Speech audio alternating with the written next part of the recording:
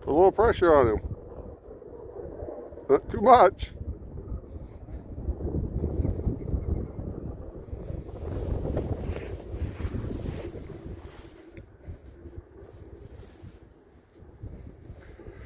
Mark, do you really have a fish?